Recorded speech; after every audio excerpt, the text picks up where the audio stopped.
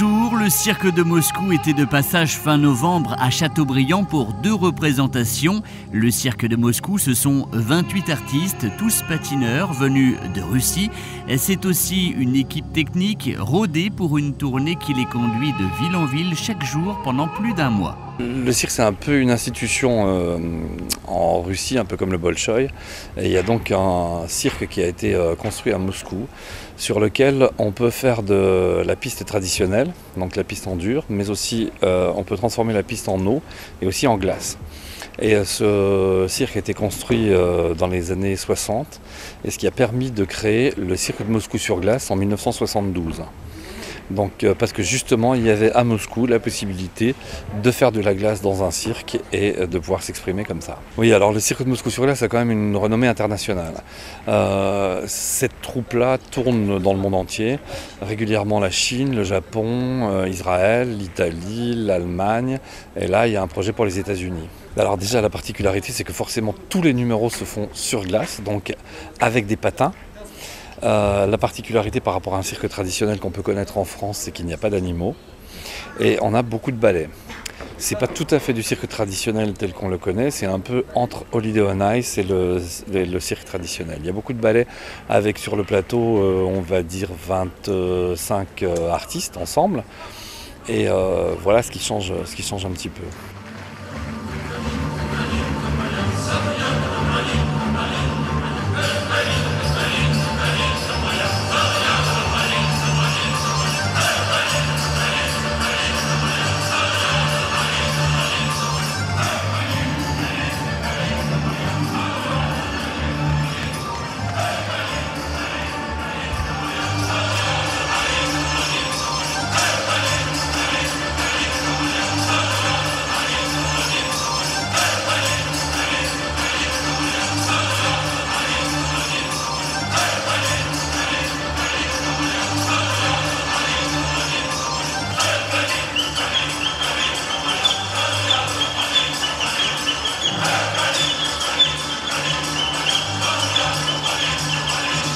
La force de, ce cirque, c'est les numéros d'ensemble.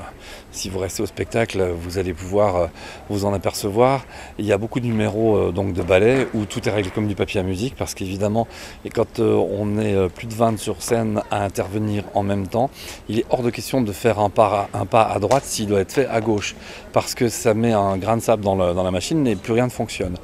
Donc c'est ça qui, qui est un peu la force de ce cirque, c'est que les numéros d'ensemble sont réglés vraiment comme du papier à musique. Et il y a aussi énormément de costumes. On a pour réaliser ce spectacle 350 costumes qui sont vraiment très très jolis. Euh, tout va très vite et il n'y a aucun temps mort, maximum 3 secondes entre chaque morceau. Donc tout s'enchaîne très rapidement, beaucoup de couleurs, donc c'est pour ça que tout le monde s'y retrouve un peu. Les gamins, bah, même si tout ne les intéresse pas, mais ça bouge beaucoup, il y a beaucoup de couleurs, donc même les petits ça les intéresse.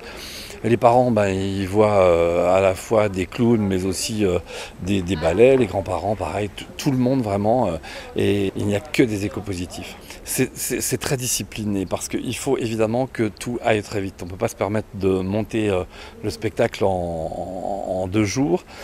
En général, pour vous donner l'idée du déroulement d'une journée, l'équipe l'équipe technique, arrive à 9h le matin, décharge le camion, installe la patinoire, le son, la lumière.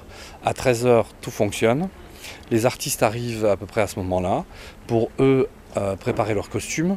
Encore une fois, il y en a 350, donc tout doit être rangé dans un ordre très précis, parce qu'il ne s'agit pas d'arriver sur le plateau avec un costume qui ne correspond pas à la chorégraphie. Ce, ce sera vraiment un problème.